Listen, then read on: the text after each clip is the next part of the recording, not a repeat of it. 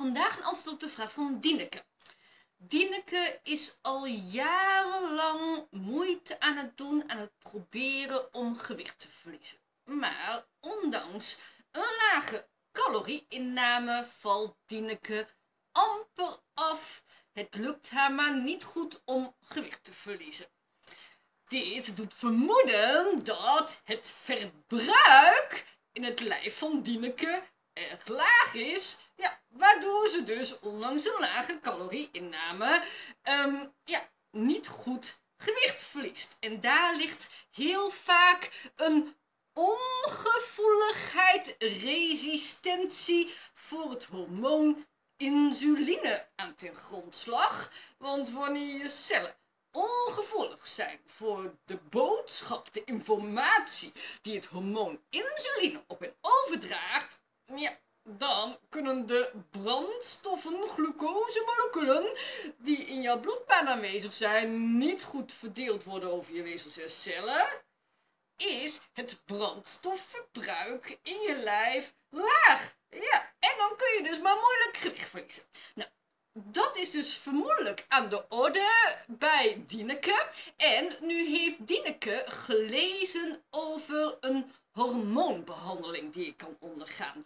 Injecties die je dan kan krijgen met hormonen uh, daarin aanwezig.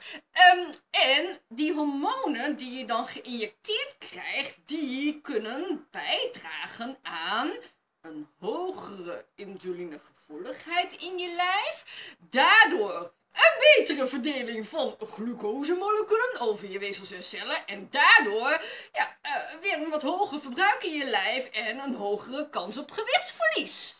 Zo heeft Dineke dat begrepen. Dus Dineke overweegt nu deze hormoonbehandeling te ondergaan. Dus injecties te verkrijgen, te gaan gebruiken met hormonen daarin aanwezig. Uh, die tot doel hebben om de insulinegevoeligheid in je lijf te verhogen. En het verbruik in je lijf te verhogen met een hogere kans op gewichtsverlies. En de vraag van Dineke is dan ook, is het gegarandeerd dat ik beter gewicht zal verliezen wanneer ik deze hormoonbehandeling onderga en dus regelmatig injecties met hormonen krijg die ja, ten gunste zouden moeten zijn van ja, het verlies van gewicht, de kans daarop.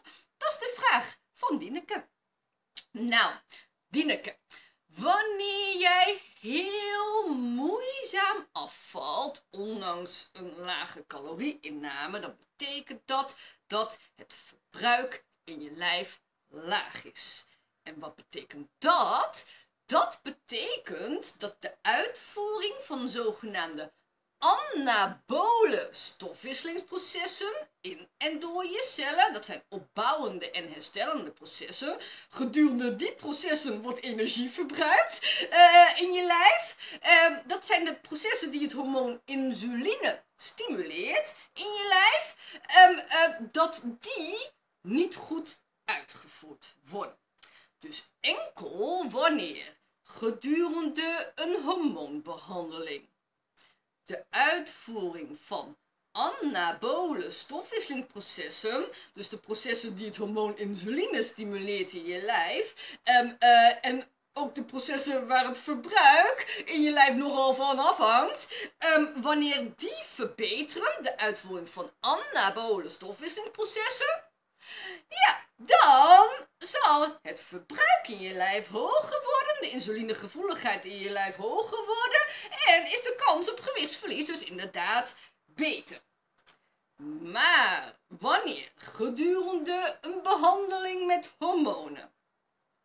uitvoering van anabole stofwisselingsprocessen, dus de processen die het hormoon insuline stimuleert in je lijf en waar het verbruik van energie in je lijf van afhangt wanneer die niet verbeteren, de uitvoering daarvan, ja, dan zal het verbruik in je lijf dus niet hoger worden. Zal de insulinegevoeligheid in je lijf dus niet hoger worden. En zal de kans op gewichtsverlies dus ook niet hoger worden. Dus dat is afhankelijk van of gedurende de behandeling met deze hormonen, hormonen ja, uh, uh, die uh, tot doel hebben processen te stimuleren in je cellen, ja, die een hogere insulinegevoeligheid, een hoger verbruik in je lijf uh, mogelijk maken. Ja, maar wanneer die processen vervolgens alsnog niet beter uitgevoerd gaan worden ten opzichte van eerder, dan zal dus het verbruik in je lijf niet hoger worden. De insulinegevoeligheid in je lijf niet hoger worden.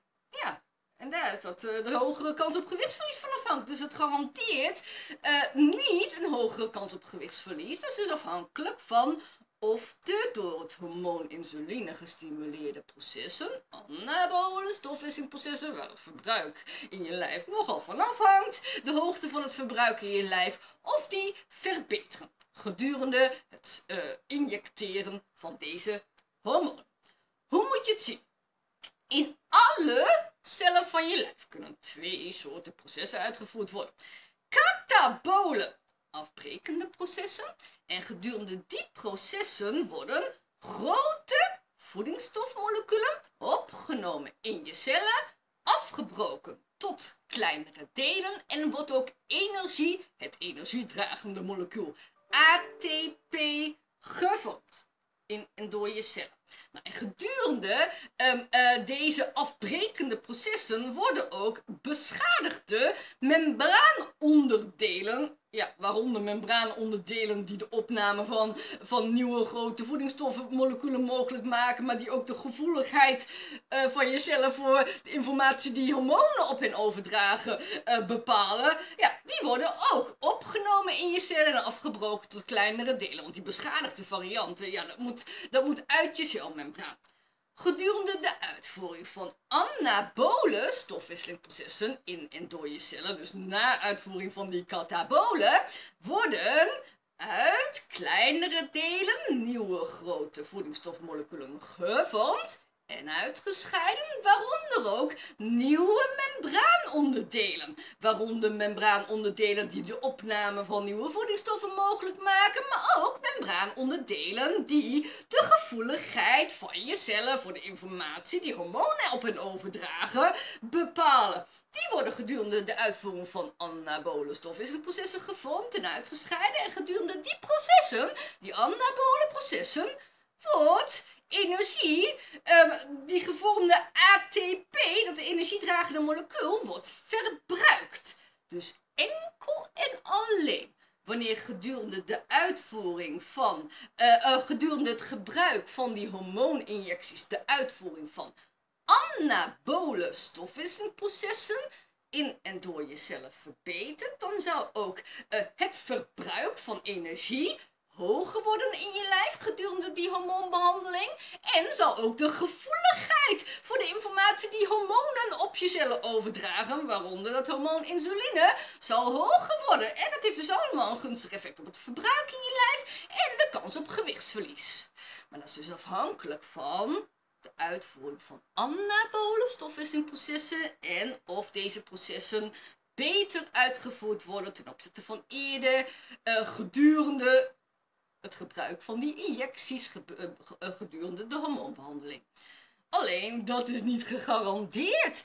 Want die hormonen die je dan geïnjecteerd krijgt, die kunnen heel leuk anabole uh, processen stimuleren of mogelijk helpen maken. Maar ja, dat wil niet zeggen dat ze uitgevoerd kunnen worden, want Anabole stofwisselingprocessen kunnen enkel uitgevoerd worden in je cellen wanneer er geen tekort in vocht en essentiële voedingsstoffen heersen in je lijf. Dus wanneer jij eerder niet goed afviel, niet goed lukte om gewicht te verliezen door laag verbruik in je lijf, dan betekent het dat eerder anabole stofwisselingprocessen niet goed uitgevoerd konden worden in en door je cellen. En dat betekent dus dat er eerder tekorten heersten in vocht en essentiële voedingsstof in je lijf. Want dan kunnen anabole stofwisselingprocessen, de processen die het hormoon insuline stimuleert, niet goed uitgevoerd worden en is het verbruik in je lijf laag. Maar dat betekent ook dat zodra jij hormonen gaat injecteren, maar die tekorten in vocht en essentiële voedingsstoffen, die eerder heersten in je lijf en die eerder ten grondslag lagen aan het feit dat anabole stofwisselprocessen niet goed uitgevoerd konden worden in en door je cellen. Ja, die processen gaan dan ook niet vanaf het moment dat jij hormonen injecteert beter uitgevoerd worden. Want ja, daar is eerst het oplossen van die tekorten voor, eh, voor, uh, voor nodig. En dus garandeert het injecteren van die hormonen ook niet dat de informatie die deze hormonen op je cellen overdragen, wat dan uiteindelijk voor een hoger verbruik en een hogere insulinegevoeligheid in je lijf moet zorgen, uitgevoerd kunnen worden. En garandeert dus ook niet dat er een hoge, hogere insulinegevoeligheid uit voortkomt uit die behandeling en een hoger verbruik in je lijf. Want dat is allemaal afhankelijk van de uitvoering van anabole stofwisselingsprocessen in en door je cellen. Die kunnen enkel beter uitgevoerd worden ten opzichte van eerder, wanneer de tekorten die ten grondslag liggen aan een slechte uitvoering van anabole stofwisselingsprocessen, tekorten in en essentiële voedingsstoffen, opgelost worden.